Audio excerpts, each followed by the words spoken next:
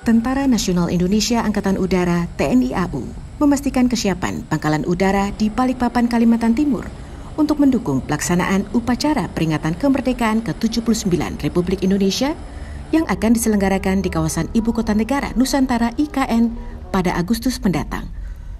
Wakil Kepala Staf Angkatan Udara Marsikal Madya TNI Andiawan Martono Putra di Lanut Domber Balikpapan pada Kamis 21 Maret mengatakan, TNI AU telah siap mengerahkan personel beserta sejumlah alutsista untuk mendukung pengamanan wilayah udara di IKN.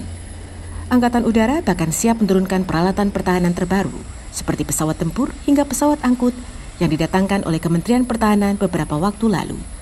Marsikal Media TNI Andiawan menyebut jumlah dan jenis alutsista ataupun personel yang diboyong ke IKN nantinya juga menyesuaikan kesiapan dan kapasitas pangkalan udara yang tersedia saat ini.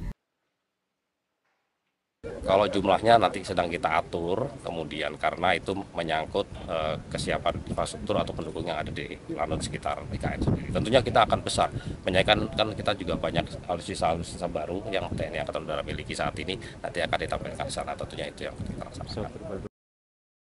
TNI Angkatan Udara juga direncanakan membangun satu pangkalan udara tipe A di IKN sebelum dimulainya tahapan perpindahan aparatur pertahanan dan keamanan termasuk prajurit TNI ke ibu kota Nusantara. Dari Balikpapan, Kalimantan Timur, Hanifan Ma'ruf, Kantor Berita Antara, mewartakan.